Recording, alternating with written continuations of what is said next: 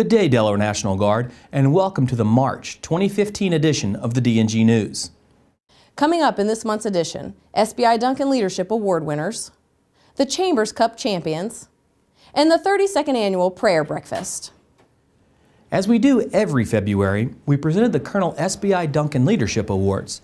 This year, the award went to Specialist James Boyer of the 261st Tactical Theater Signal Brigade and Senior Airman William Paskey of the 166th Logistics Readiness Squadron. The award recognizes a traditional soldier and airman for their outstanding performance in leadership, devotion to duty, support of recruiting and retention, and their ability to accomplish their mission. Congratulations, Specialist Boyer and Senior Airman Paskey. The UTA also saw two new commanders take the helm. The 166th Logistics Readiness Squadron held a change of command as Lieutenant Colonel Robert Howard stepped down and Lieutenant Colonel David Rice stepped up. Colonel Rice comes from the Network Warfare Squadron, and Colonel Howard now becomes the Wing Inspector General. But wait, there's more. Filling a vacancy since the retirement of the past commander, the 166th Medical Group held an assumption of command for new Delaware Air National Guard member Colonel Peter Bickle. Colonel Bickle is a renowned optometrist and came out of individual mobilization augmentees at Joint Base Andrews to take our med group to the next level. Years ago, Father Dan Garris, an Army National Guard chaplain, started a prayer service the Tuesday before Ash Wednesday, the start of the Christian season of Lent. Over the last 32 years, the prayer service evolved into a breakfast, including people of all faiths. This year, Sergeant Major Jim Snyder played the piano, the Delaware National Guard Choir performed, and Major General Nadja West shared her compelling story with everyone. Not even the snow could keep this year's breakfast from being the best one ever.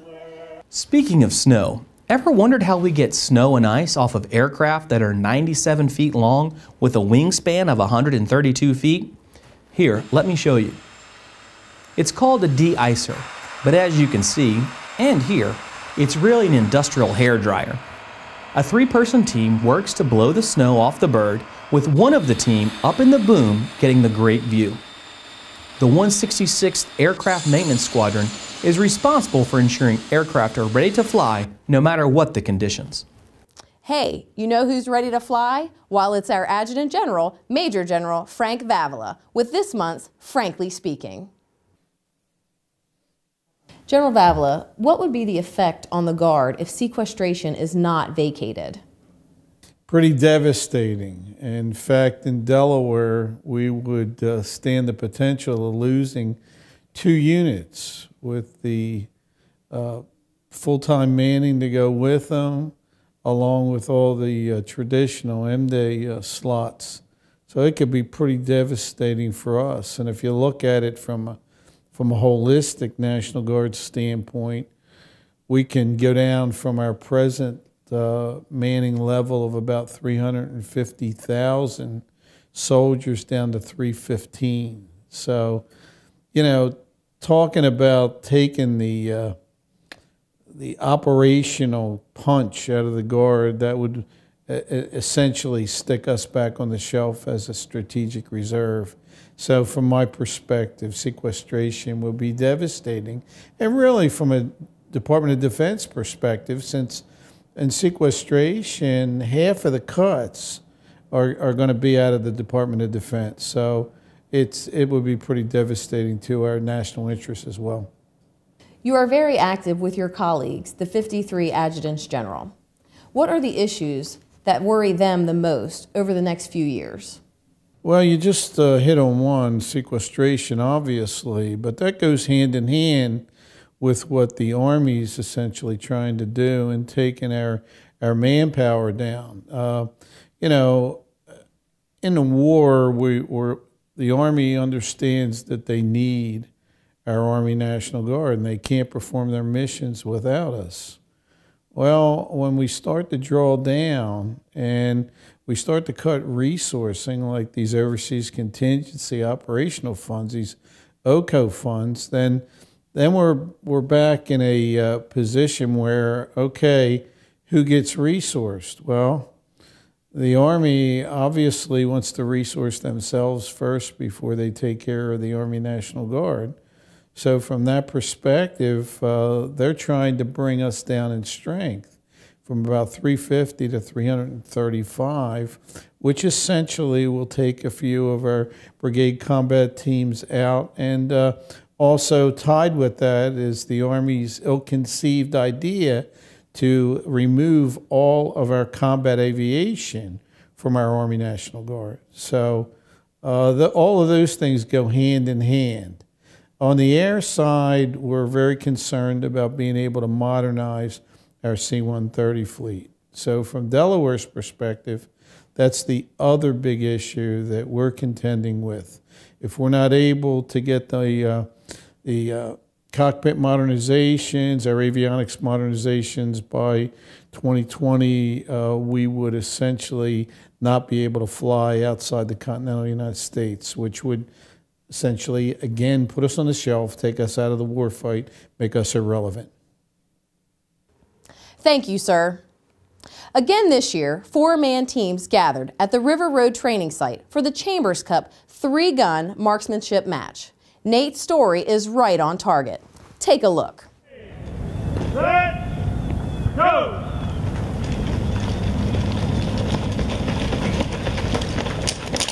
There's a lot of huffing and puffing at the Chambers Cup marksmanship competition. Marksmanship being a key component to what we call the profession of arms. Delaware Army National Guard soldiers are here in the muck and mud of the River Road training site in order to compete in the second annual Chambers Cup marksmanship competition. The competition involves three events this year. It begins with a Patton pistol match, which is a 300 yard run followed by firing a 9mm at paper targets. Fire!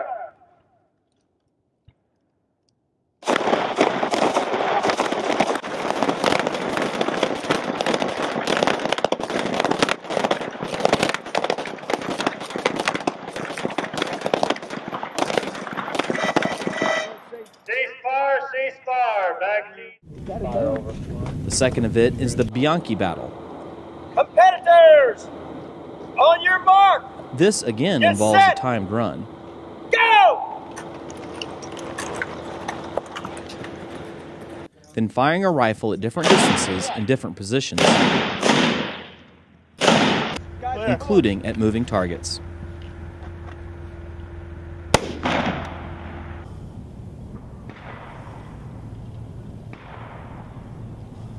All parts of the cup are a team competition, so sticking together and helping one another are part of the game.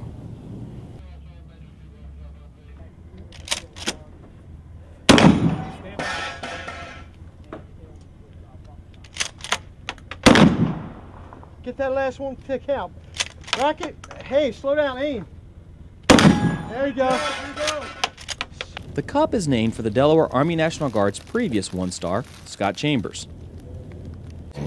Well, we know uh, General Chambers. He's uh, he's avid hunter. He's uh, marksmanship has been very important to him. When he when he uh, took over as the assistant adjutant general, he uh, emphasized marksmanship, and we just wanted to uh, have a marksmanship competition in his name. To keep things interesting, a final event changes each year. This year, that is shooting what is called a Texas Star.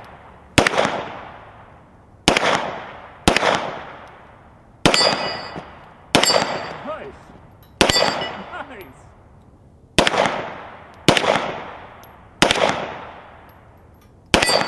Yeah. Hit. Got your magazine. Put your weapon on safe. Already had it. Participants get a lot from the day. Oh, it's just a challenge to see um, how our how our shooting is, how it's progressed from when we started from back at basic, and it's pretty much just fun. I love and I love participating in all these types of events.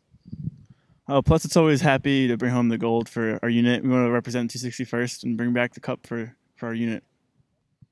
It was a chance to get out of the actual like office and get out here and uh, spend some time and do something we all love to do, which is shoot. So Great uh, marksmanship training.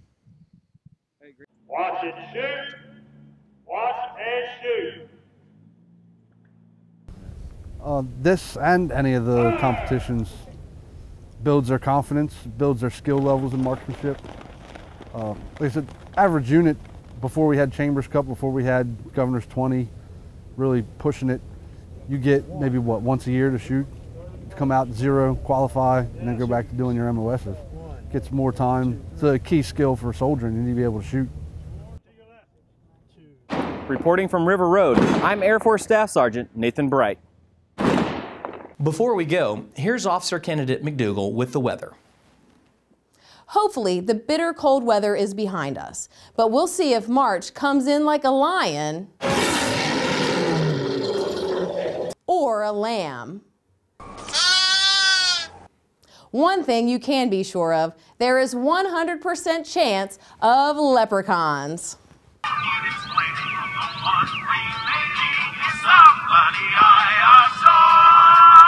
Well, that's all we have for this month.